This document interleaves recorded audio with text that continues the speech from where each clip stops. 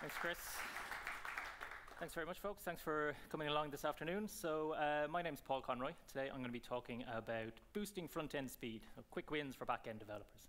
It's a little bit of a mouthful, so what are we going to be talking about? So, we're going to talk about uh, the, the quick and easy things that we can do as back-end developers when someone comes to us and says, there's a problem with the front end of the website, we need you to fix it. and when I say back-end developers, I mean, you know, those of us who are a bit more comfortable with the, with the command line, working on APIs, than dealing with NPM issues, node versions, and all the, the fun that front end development typically brings. Um, and I say back end developers, I also include those of us who maybe put full stack developers on our CVs, but in all honesty are probably a little bit more, more comfortable on the back end than the front end. So why listen to me? Uh, so uh, you might tell from the accent, I'm not quite local here. I'm from uh, Dublin in sunny Ireland. Uh, I first started tinkering around with the web about 30 years ago now uh, as, a, as a child, playing around with Notepad, then front page, FTP, GeoCities, all, all the good fun stuff. I went off, got my qualification in software engineering, and then, as you do, took a, a brief detour. I spent a short while as the manager of the, the busiest cinema in the whole of the UK and Ireland, and after about 18 months or two years of watching my degree gather dust, decided, right, I'm going to go back and do something I, I really love here, and, and went back into development.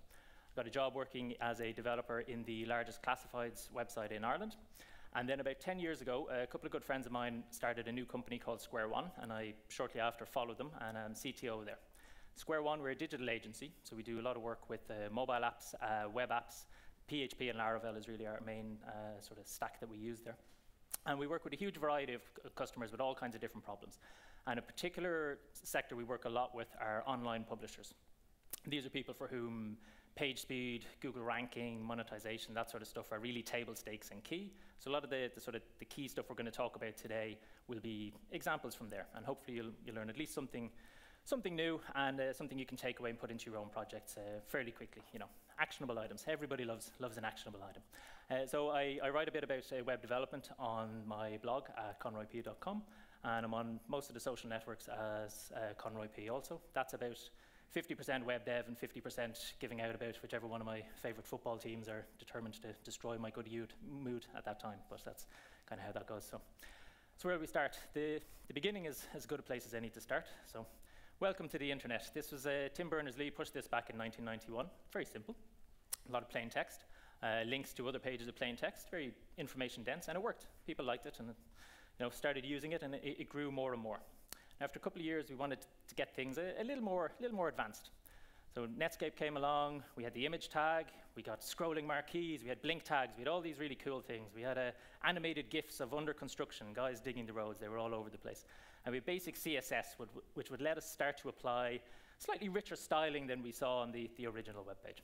And once we got a little bit of basic CSS, you know, as developers, you give us an inch and we'll take a mile, we started getting a little bit more sophisticated. Now, this was a site called the, the CSS Zen Garden.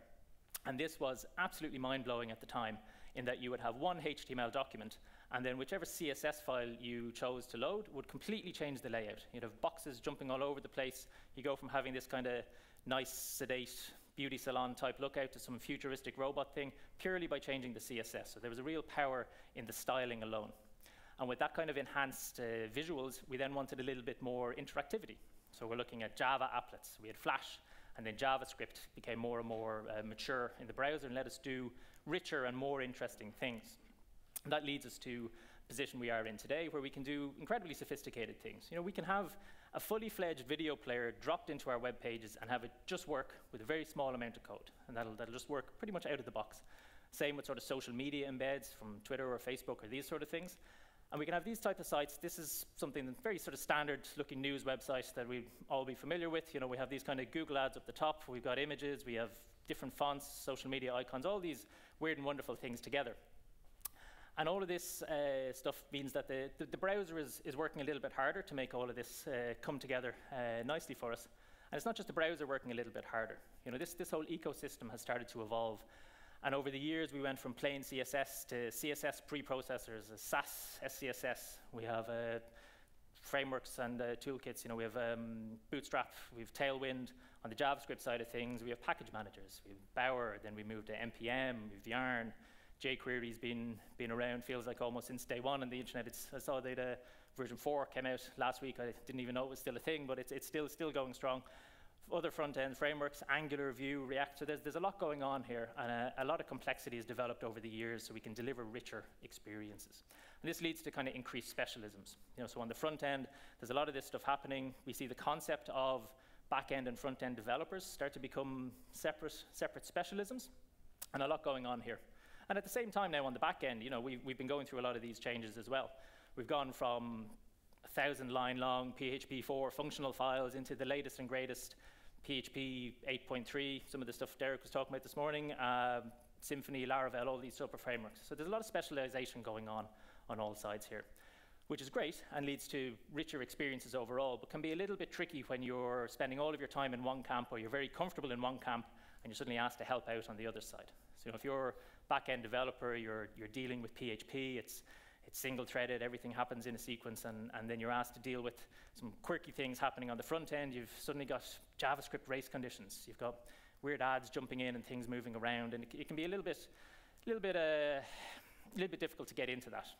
And you know, when you're asked to do more and more sophisticated things as a back-end developer, you know, let's, let's make this thing look a little bit nicer here, and you're, you're battling, and the CSS is just, it's just not respecting what you want it to do or what you think it should do.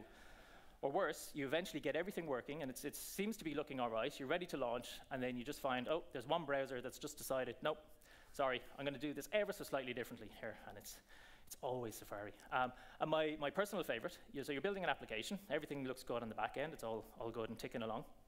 You have a little bit of a front-end component, install a few node modules, build it, put it together, all that's fine everything's ready to go. So you walk away, I'm going to go make myself a congratulatory cup of tea here for five minutes, come back to my desk literally five minutes later, and in that time, NPM and Node have gone through three whole release cycles, two versions of which broke all backwards compatibility. One of my libraries has been discontinued, and I need to just basically throw it away and start again. So this, this can, be, can be frustrating uh, if, if you're jumping from one sort of side to the other. But then we do get a lot of be benefits from this complexity. You know, we talked about fully fledged video players and the much richer web that we have today. You know, if we were to say, all right, so back-end developer, uh, Paul, you love spending all of your time working with the, with the command line, with APIs, with the back-end, you just want functionality above all else. So, okay, let's forget all of this complexity and let's, let's see what the internet looks like if, if you were to just build the internet the way you want it. And it's, it's functional, uh, it gets the job done, but you know, we're, we're not going to be winning any design awards anytime soon. But at some point, uh, as someone who's more focused on the back end, at some point, whether you're maybe the only person on the team, or there's a small team, or your entire front end team quits at some point after we've chosen the wrong JavaScript framework or something like that, someone is going to come to you and say, the site's slow. We need to fix it. We need to do something about it. Now, you might look at your metrics. You'd say, well, database is responding quickly. API seems fine. Nginx stats, everything is, the server is sending the data out fine. So well, what do you mean by slow? And you'll often hear back, well, you know, just when I go to the website, it feels a bit janky, or it's, oh, it's a bit kludgy, or it's, it's just a bit meh. You know, meh is, is, is not a great technical term to try and dig into and, and, and build a, an improvement plan around. So what we've been kind of lucky with over the last few years is that there, there's a big move towards getting more metrics around defining, defining what exactly meh feels like, or what, what it is, and putting a number on it that we can plot against over time. There were tools like GTmetrix and YSlow that sort of started this and eventually gave way to uh, this sort of image in the middle. We'll talk about this tool quite a bit. It's Google's PageSpeed Insights. And this tries to put, uh, well, objectively quantify performance. So put a, put a hard number on how your website is performing overall, taking the back end into account in terms of how fast the server responds, but really a lot of it focuses on how the front end is, is interacting and working. Uh, Core Web Vitals is the term that Google coined a, a, couple of years back to try and really quantify some of the feeling.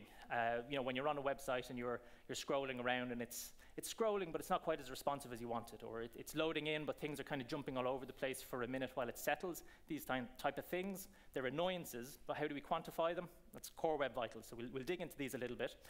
And what Google did as a kind of a sweetener for people to, to, actually care about these and work with them is they do include it as part of the ranking signals for the, the performance of your, your website. So there's a lot of these core web vitals, but there's kind of three of them that are the key ones that come up again and again. Uh, CLS, LCP, INP are the ones we, we hear a lot about. So CLS stands for Cumulative Layout Shift. Uh, it basically means how much do things jump around on the page. So we think about when you go to a news article on your phone, you're scrolling down, you're reading a bunch of text, and then suddenly an image appears in the middle, it was very slow to load, and the text on the bottom half of the page jumps. That's a shift in the layout. It's not good, so ideally you want no shift to be happening. That's what CLS measures.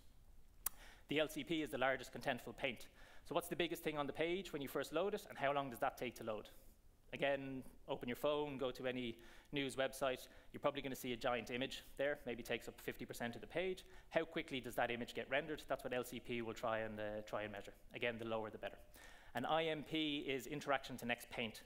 If you are on a web page and let's say you tap the, the hamburger menu, how long does it take until the menu actually appears? Or there's an accordion, you tap the, the arrow, does the thing appear immediately? Is it a bit juddery, that sort of stuff. So that's what these metrics try and, try and capture.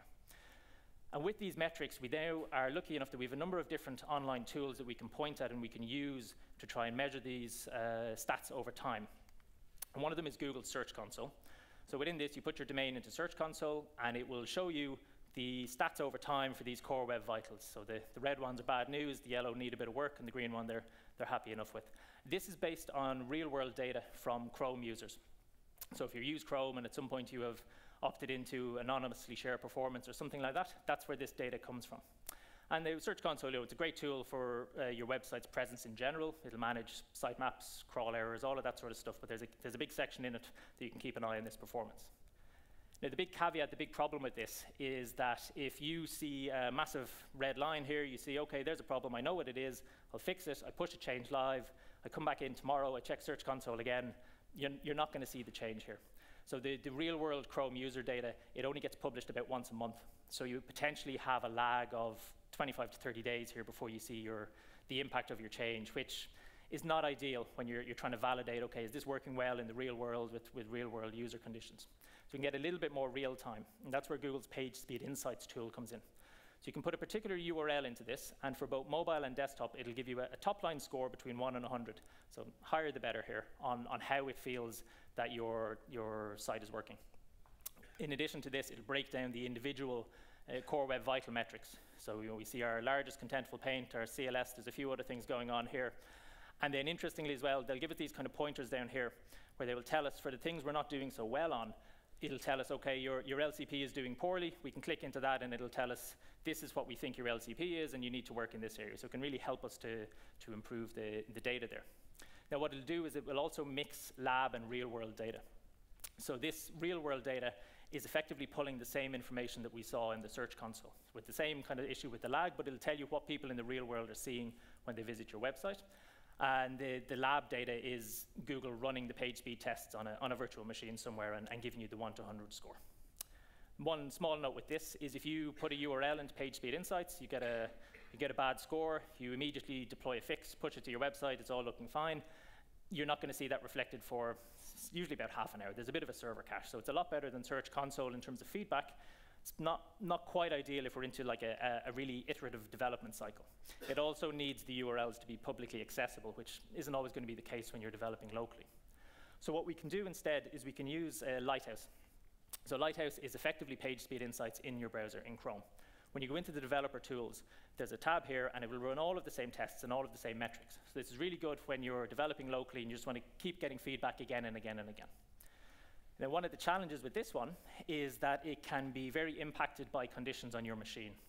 So if you start Lighthouse running, and then I'm on my laptop, I go and I move on to, I don't know, I'm, I'm using Slack or some other Electron app that's just eating up the CPU, Chrome has less CPU, and that will lead to different performance scores. So there can be a lot of variation there, which can be kind of frustration when you're getting very different scores on a run to run. So ideally what you want is you want to be able to run these type of tests but maybe run it in a, a, stable and static environment that you can get the same results over time and we can kind of monitor our performance as we go and get an idea of whether the changes we're making have any kind of impact.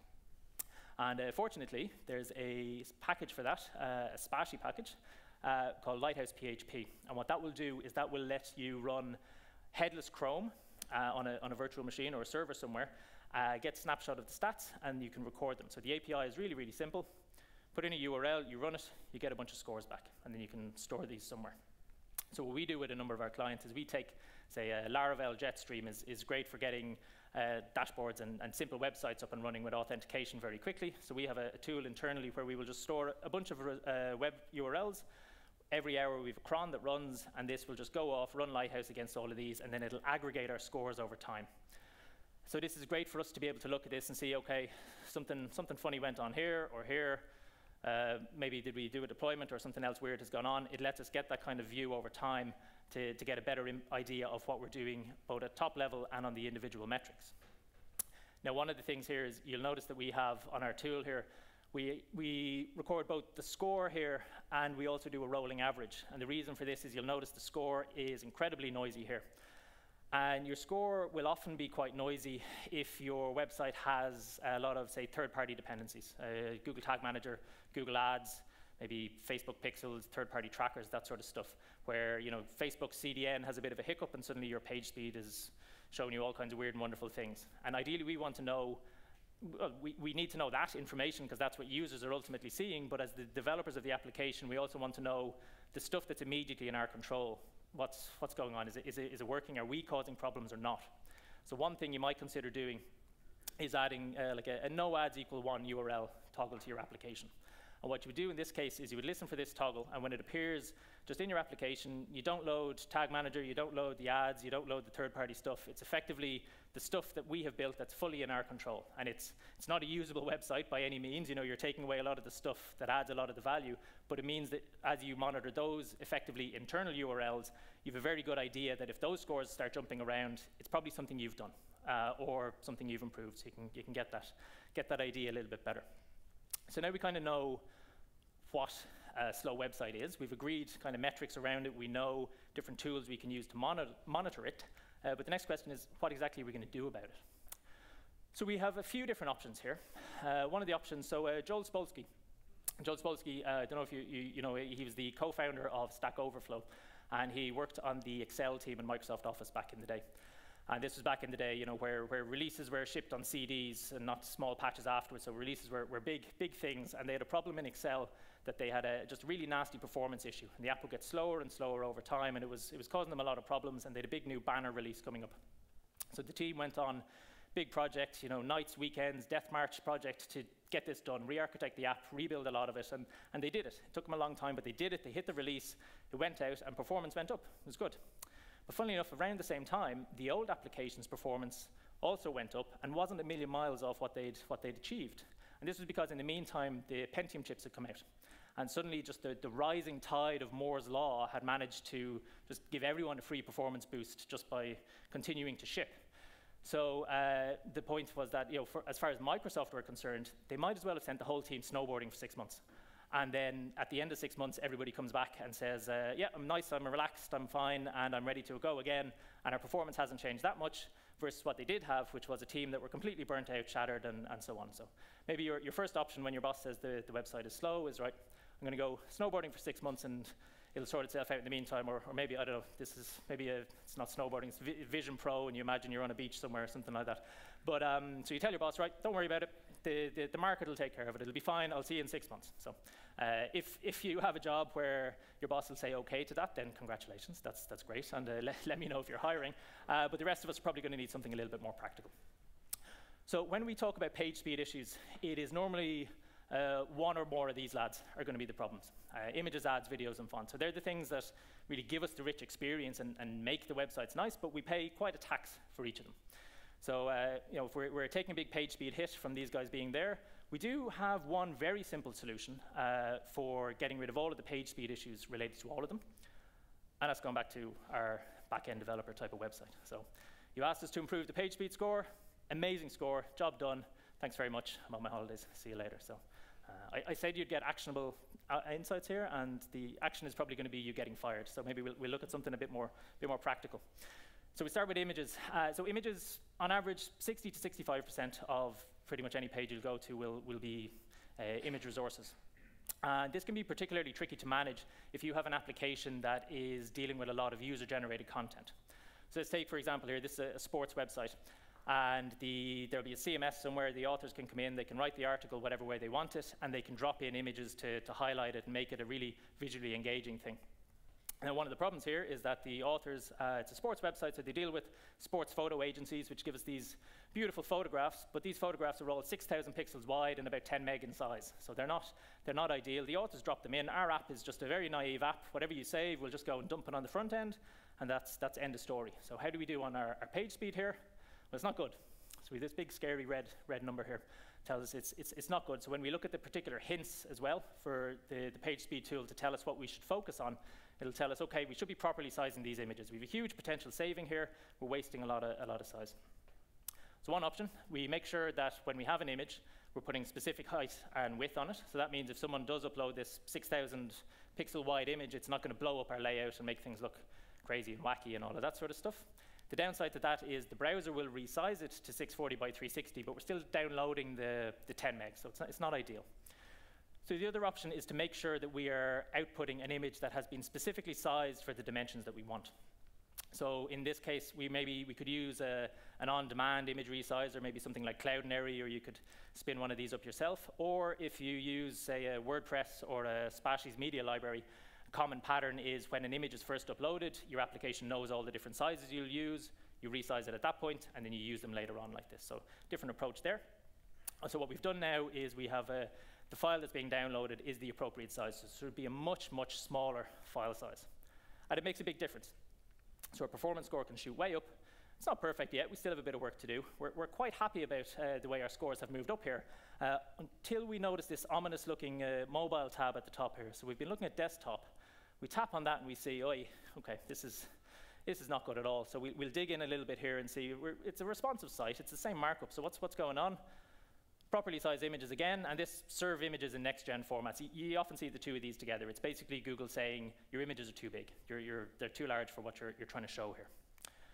So what we can do is try and serve the right size. So this pattern might be familiar, uh, particularly if you've done a lot of WordPress development, uh, where you will have something like a, a, library that detects what the user is based on their, their user agent. So are they mobile, tablet, or default desktop? And then based on that, we'll just output whatever the, the image size that we determine they should be.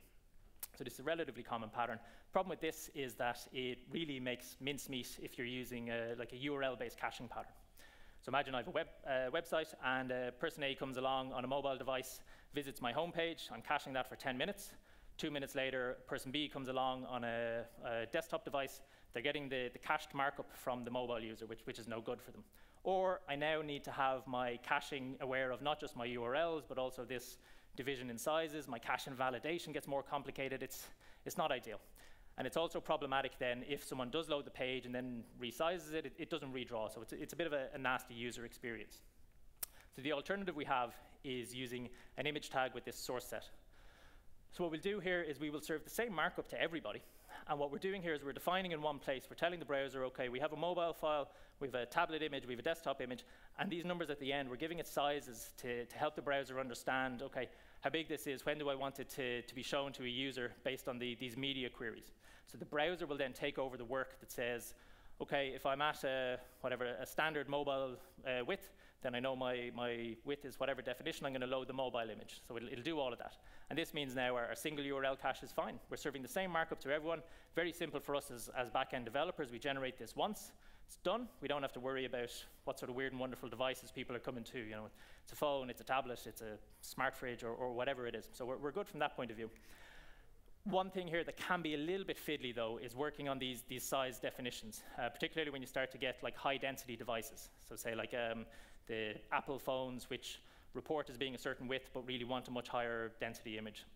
Can be a bit fiddly. So if, if you are using something like Spatie's Media Library, there's a really nice feature in it here where you can uh, just tell it, I want to use responsive images.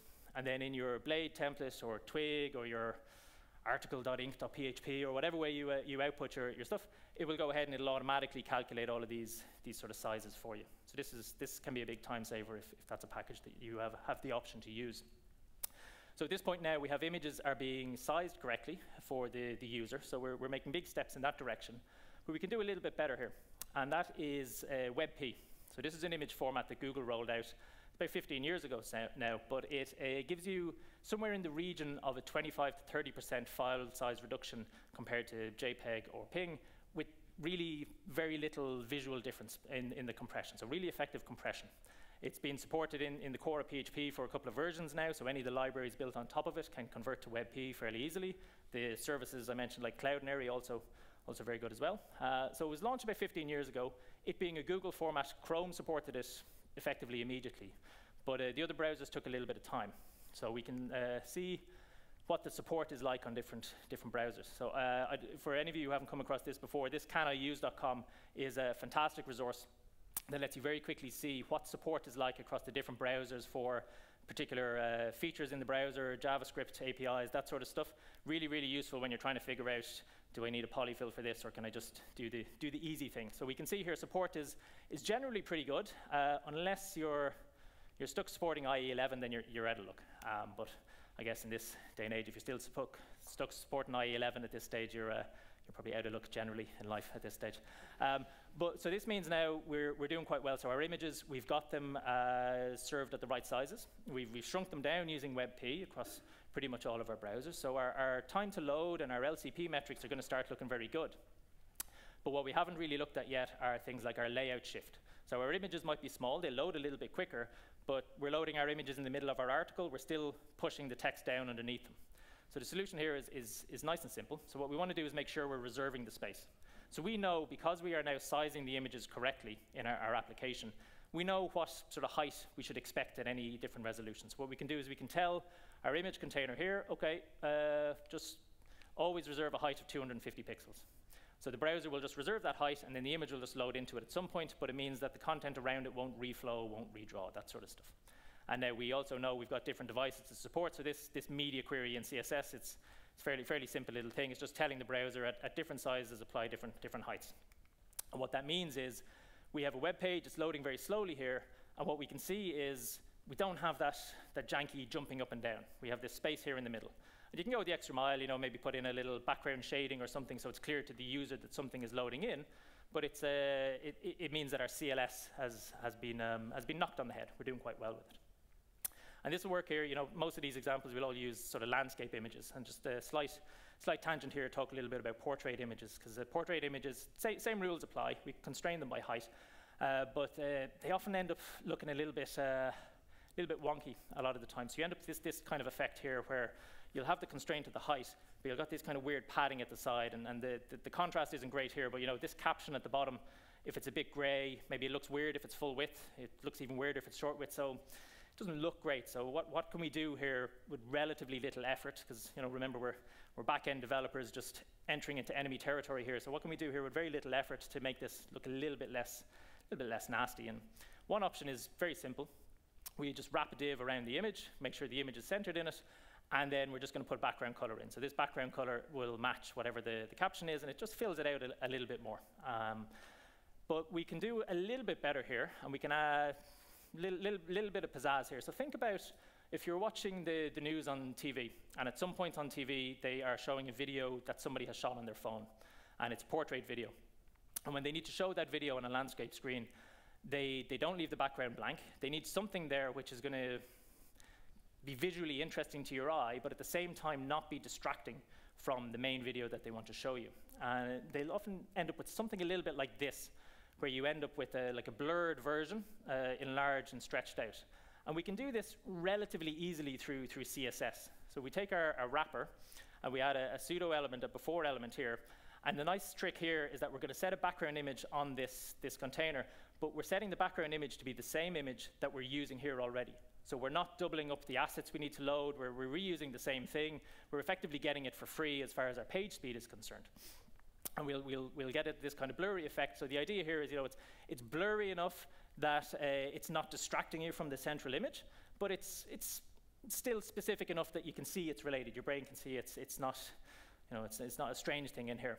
Uh, now, the eagle-eyed amongst you, uh, or the eagle-eyed sitting in the first few rows, I don't know what the size of the, the, code is at the back there, will notice a bunch of these magic numbers in here. And I know myself, my my, uh, my, the, the, hairs on the back of my neck tend to stand up when I see magic numbers and these things and wonder, you know, how, how specific and hard coded is this? So what these numbers basically mean is the, the, the, blur of 15 is the intensity of the blurring that we want to apply. And 15, trial and error, uh, seems to be about the sweet spot that matches roughly this sort of effect that you'll, you'll see on the TV. But the problem with the blur filter is that when it gets applied, what it will do is it effectively adds a halo around the whole image. It softens the edges of the image. And what we want is we don't particularly want a nice big uh, soft halo around the edge here because that will then draw your eyes to this, which isn't really what we want to do here. So with the blurring of 15, what we want to do is we want to have the background image technically come out 15 pixels wider in each direction, and then we're just going to show the, the central container. So that's what the, this absolute positioning and this, this width stuff is, is doing there. So that's what those, those magic numbers are all about. So just a little bit, a little bit extra work here, no impact on our, our page speed, and just makes our pages look a little bit, a little bit richer, a little bit nicer to look at. Our page speed overall now on our mobile is looking quite good. We've stepped up quite a bit. Our CLS, our layout shift, is, is looking much, much better. Um, so when we look at, okay, we're at 82, there's still room for improvement. So what, what are we talking about here? So defer off-screen images is one of the things we're being warned about now. So imagine when you go to, uh, let's take a, news article again as, as, an example. You load it on your phone. You can see a certain percentage of it when you load it, but there's a lot of it that you won't see when you first load the page. And if we have image tags off your device, if we're loading those images, you might never scroll down. So you're taking the hit for loading the image when you might never see them. So ideally what we want is we just want to load those images in at the last moment, and the technique for that is, is called lazy loading. So we want to save a huge amount of bandwidth to do this, and the idea here is that you know, this is a, the box at the top here is, is what the user can see, and we have a placeholder here, it's just some uh, CSS and text, and it's only when this image crosses the threshold that we want it to load, and we've taken the hit on it actually loading in. So, so lazy loading, really popular technique. It's popular because it's incredibly effective. You think about how many images you see on, on web pages, there's a really great way to, to reduce the, the load burden on our users. And it's, uh, this isn't a new thing, you know, people have been doing this for, for a very long time, and the way this used to work was you would have a polyfill library of some sort, you would have your image tag, you would blank out the image source so the browser would load nothing by default. You'd use a data attribute for it, add a class, and then you'd bind it using jQuery or, or something like that. And what this would do is it would add a listener usually into the, the window scroll event. And every time you scrolled, it would check, is there anything that has a lazy load class that is now just about to come into view? If so, swap the data source for the source, show the image, and, and happy days. But the problem with this is that if I have my, my laptop here and I just flick like that to scroll down the page, to me that's one scroll event. To the browser, that's about 5,500. And as Chrome and the browsers developed, this became more and more problematic to the extent that they would actively warn against using this sort of scroll thing because it, it trashes the rendering thread and it, it, blocks things up quite a lot. But this is a hugely popular technique and it's very effective. So the browser manufacturers got together and said, okay, well, if we're going to tell people they can't do this, we need to tell them what they can do. And they swapped all of this stuff here and said, okay, let's just do this. Loading lazy, one single attribute, we drop that in. And the browser then will use its own heuristics to decide, okay, am I on a mobile device with a slow connection or am I a desktop with a fast connection, whatever it is, and the browser will figure out at what point in the scroll it needs to load those images. So I mentioned it's a relatively new attribute, nice and simple, nice and easy. So we come back and we, we look at our support again and we can see, okay, support here is pretty good, though again, IE11, you're, you're I don't know. If you're, if you're working with IE11, maybe you need to go back to the, the lads whose boss lets them go snowboarding for six months and see if they'll, uh, they'll take you on. But um, generally, this is, this is a great attribute that can really make a big difference. So the temptation here is go into our code, and we're going to say, right, find and replace all, please. So is it a good idea to, to go in and, and replace absolutely everything? Can see a few nervous heads. I know it's the, the Friday session after lunch. That's, that's a rhetorical question. Don't worry. There's not, not, not audience participation needed. So we, do we lazy load everything? Well, no, we don't.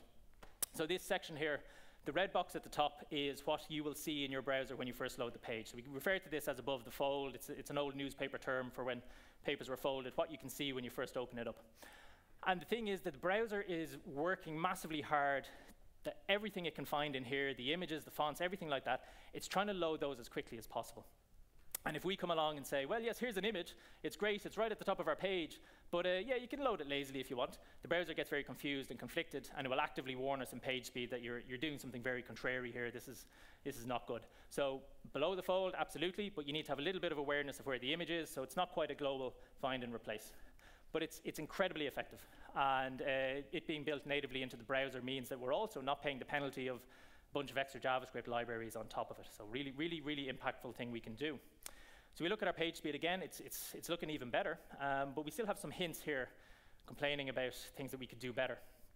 And we're still being told to defer off-screen images.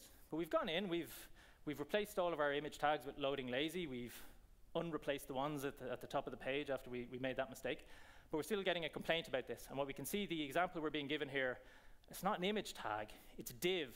And uh, the div has the image being loaded as a background image. But what about our, our lazy loading?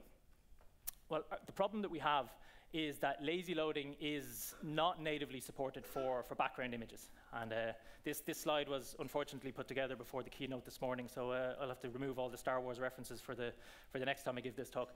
But the, the, the idea here is that, uh, yeah, the browsers don't support it as of yet. And this is, this is unfortunate because background images tend to be quite heavy ones. You know, you think about their, they're in the rear of a hero section or something like that. They tend to be quite large, quite wide, and they tend to be quite um, heavy file size-wise and you'll store them in the background image. Some polyfills used to support loading them, some don't. So again, the browser manufacturers are looking at ways we can make this a little bit more effective, and there's a little bit of JavaScript coming up here, but nothing, nothing too crazy, I promise. Um, and the intersection observer is what we're doing to replace the, the window scroll. Uh, and the intersection observer, it is a way to observe when two items intersect. So it's very, very well named. So what we'll do here is we'll have our div. We have a, a div here that has a background image. What we're going to do is we're going to define it on the markup here, so we don't need to go messing around with CSS files or recompiling or doing anything like that. We'll, we'll stick it on the markup. And then within our intersection observer, the, the main function in here is, is going to be this one. So we're, we're saying what we want to, to observe, what we want to happen, and then we're, we're triggering it. And what we're doing here is with the intersection observer, we're saying, OK, this is a function that we want to run whenever an intersection happens that meets this criteria. So the root margin of 100 pixels, this is an optional thing where by default this function will run whenever, say, this, this entity crosses our, our user viewport threshold. But what we've done here, I don't know if you, you can see it at the back here, we've put a little red line here which is about 100 pixels down below, because we know this image is large, so it might need a little bit of time to load in so it's there by the time the user is ready. That's what our root margin is going to do. It's a little CSS definition. And the intersection function will fire, and all the intersection function is going to do is it's going to check when an intersection happens.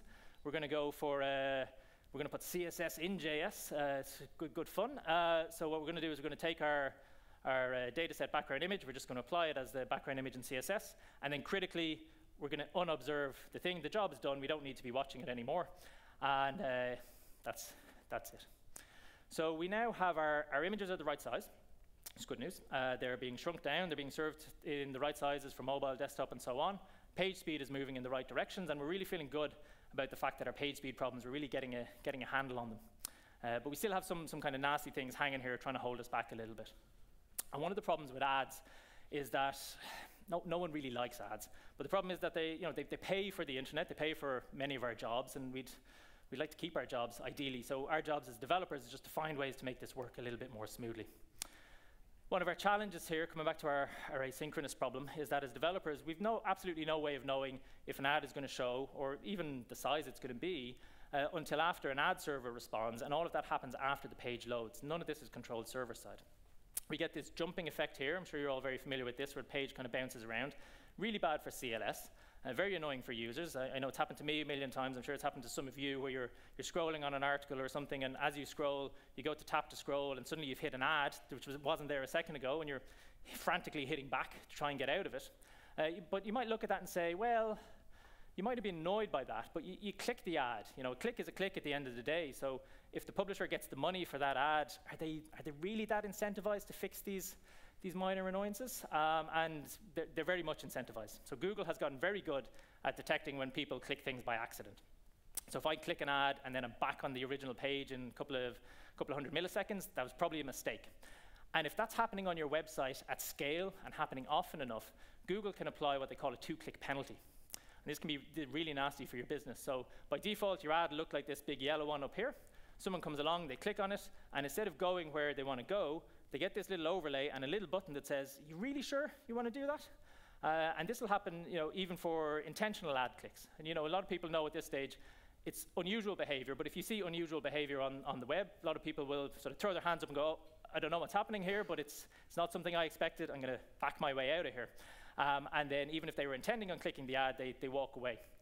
The really fun thing here is that Google won't tell you that they've done this to you. It will just happen and they don't show it to every user. So it's entirely possible if this is happening on your website, that you and everyone in work is working away on the website, you're seeing ads, everything looks normal, whereas this is happening for your users. So you know, how do we know, how do we even know it's happening? Well, it's normally because whoever's in charge of the ad ops comes running in with their hair on fire and screaming about you know, lines going vertically down and we'll be bankrupt in six weeks if we don't fix it. So it, it, it can be fairly insidious. So yes, publishers are very much incentivized to avoid this.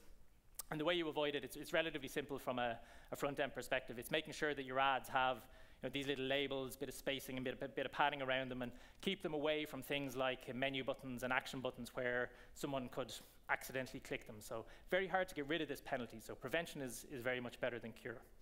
So we can avoid the two-click penalty, but it, it doesn't help us with that CLS jumping that we saw there a moment ago. And the good news is the solution for that is very similar to what we've already done with our images. So we have an idea of what sort of size we want the ads to be in.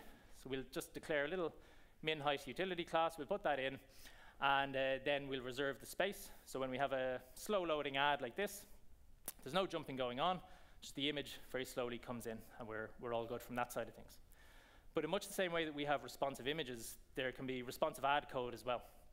So you can have, uh, you can tell Google, hey, uh, I'm happy on mobile devices to take this size of ad, and on desktop this size of ad. Google will, they'll often, but not always listen to you. Sometimes Google will give you back a bigger ad than you've asked for because they've figured, well, this one will make a little bit money for both of us, so we'll put it in and things will stretch out. So what can you do about that? Well, one option is this kind of approach here you'll see on some sites where you find the biggest possible size you could serve, you create a, a big height for it, and you just center the ad in the middle. I mean, it works. You, you won't have a, a CLS problem, but most of the time your site, it's, it's just going to look a bit, ah, it looks a bit cheap. It, it, doesn't look great. So if you're dealing with ads at a high scale, you're probably going to end up using Google's Ad Manager product at some point. And this has a really nice feature in it where you have a, a render-ended callback. So whenever the ad loads, we can see what size was our ad? Was it bigger or smaller than the, the space that we had? And if it was smaller, we can take away our minimum height, so the ad unit will collapse, just fit nice and neatly around the ad that we have there, and, and have that nice kind of effect. Now, you might be thinking about that and saying, well, if we had the space originally and now we've withdrawn it, are we not effectively baking in some CLS all the time there? And, and it's true, we do to a degree, but it's, the thing with these metrics is it's all about balancing the metrics against the real world experience. You know, they're, they're not absolutes. And uh, the important thing there is that we're making sure that whatever min height we're setting is that of our most popular ad unit. So if like 90% of the ad units in this particular slot are 200 pixels in height, then we use 200 pixels in height, because then 90% of our users get a perfect experience and it'll shudder around a little bit for the others. And this is a, an experiment we ran on a popular Irish news website we work with not so long ago. You can see the before and after here. This big red line was people with poor CLS, and it, it dropped by about 64% overnight. And these were results that were repeated on a few different websites we went. So it, this can be a very effective technique, but regularly reviewing the size of those popular sl slots is critical, because if you get that wrong, then yeah, you're going to bake in a lot more CLS along the way. So that's something we can do to kind of take care of ads. So we've kind of put, put images in a box, we put ads there. Now we're going to look at the next guy, videos. Videos, everybody loves a video. Uh, very popular way of sharing content, great for user engagement, super with SEO. Uh, even when you're, you know, you're searching for how do I change the, the battery in my car key fob, you know, maybe I, I want an article with an image and two sentences and there's 10 minute videos I have to sit through. But generally speaking, uh, SEO, Google really love videos and showing them. And we saw earlier, really, really easy to embed. But the problem with videos is that they can bring hugely expensive payloads for us when we're trying to deal with our, our speed issues. So how expensive is it really? Well, we get complaints about the JavaScript execution time. Uh, we get complaints about the amount of unused JavaScript. So you think about YouTube, it's the one embed code that needs to work for every browser on every device in the world. So they will ship a lot of code that handles weird bugs in different browsers so that it will work well for everyone. But if you're running the latest Chrome or Safari, you're not going to be running half of this code, but everyone gets the same payload. Um, maybe it's the, the engineers in YouTube, maybe they're the guys who still need to support IE11. They, they have all this extra code in there for that. But we get the same complaint about uh, CSS as well. And then we also get told, well, there's some of the resources we're loading. PageSpeed Insights will tell us we can swap them out with a facade. So a facade in this case means that we'll have a, a very lightweight implementation which, when interacted with, loads our heavier implementation. The, the, the, idea is that we have a faster initial load without taking the, the full hit on the page speed. And we can do that with a thing called web components. So we can see here we have a web component. For those of you who haven't looked at web components before, you can basically invent your own HTML tags. And in this case, we have something called lite YouTube. We'll give it an ID, which will be our, our player ID, little bit of JavaScript and, and, CSS that defines what that element should actually be.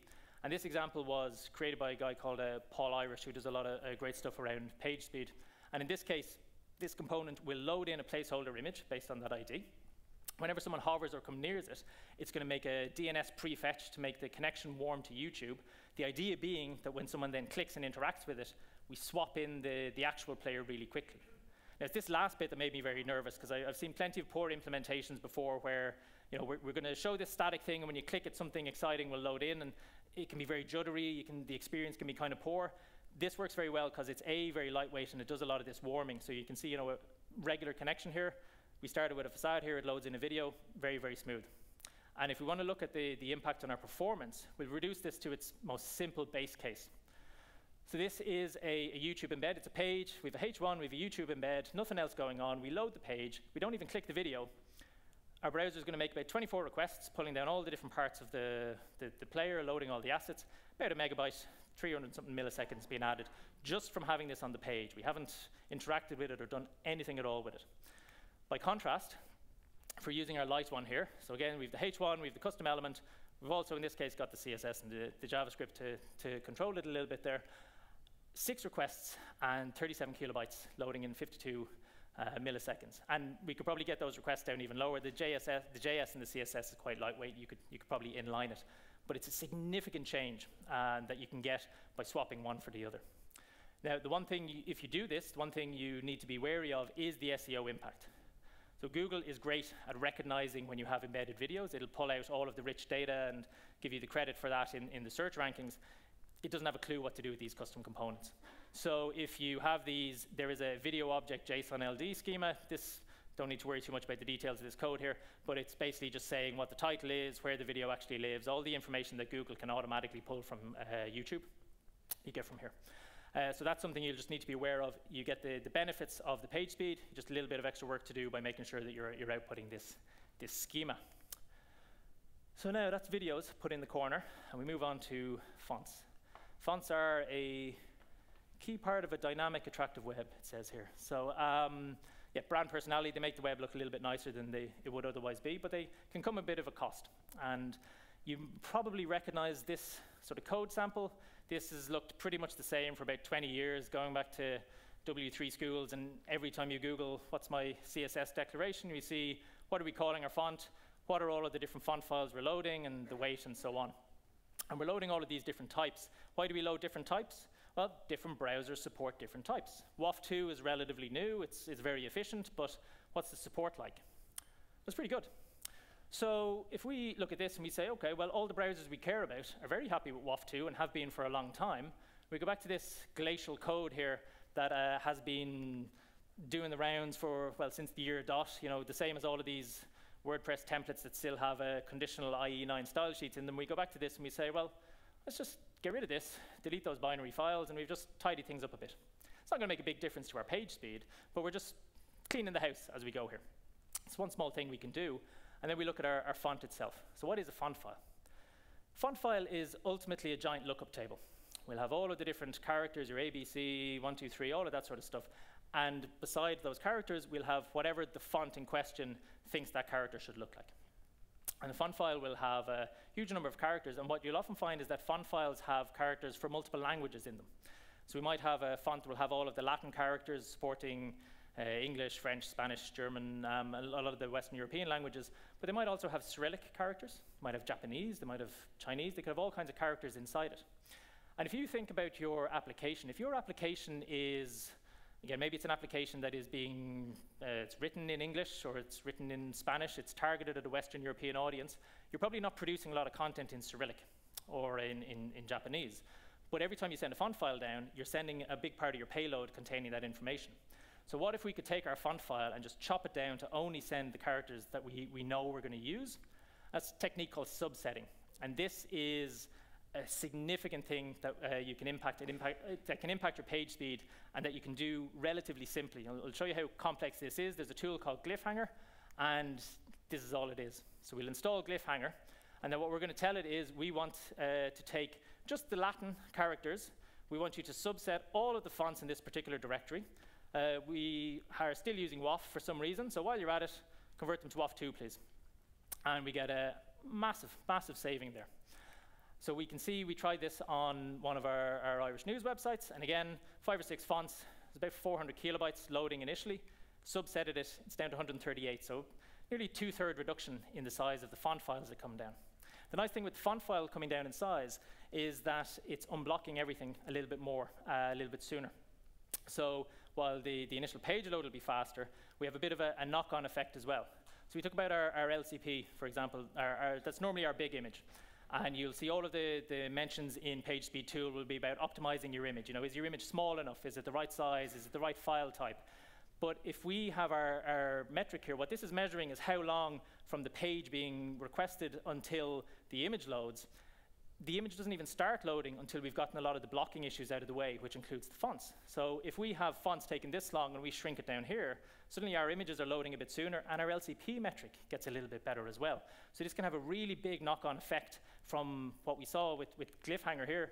Absolutely tiny, tiny bit of change to make. You can have a huge impact here the point about LCP that, and, and, the metrics in general that's important to remember is that uh, it's rarely just one thing that impacts these metrics. There's often several different things coming in at the same time.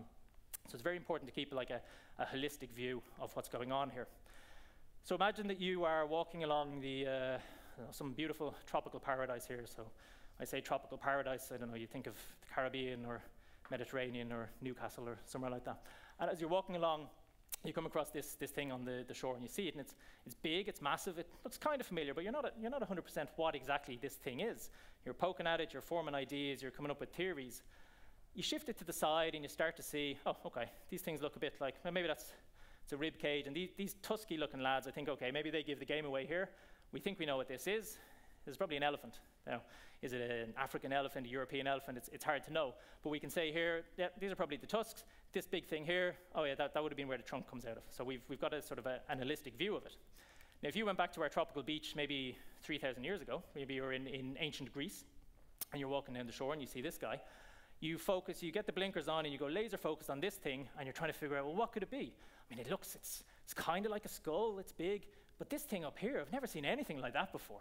Uh, so you do the, the only thing that makes sense and you decide, this uh, must have been from a prehistoric race of giant men with one single eye. So the Cyclops reigned over us because you've gone, you've gone laser in, you've created a very compelling narrative, very interesting story, but because you've been so focused on the one point, you've kind of lost the, the, wood for the trees, as it were. So the point here is uh, make sure that you're, you're paying attention to each step in the chain, as it can really make a big difference as you have a, a knock-on effect there. Now, a question that comes up all the time is what happens if I do this subsetting and someone then tries to use a character that isn't in my font set? So what'll happen here is your browser will first of all take whatever the letter is and it'll try running through any fonts in the family you've defined.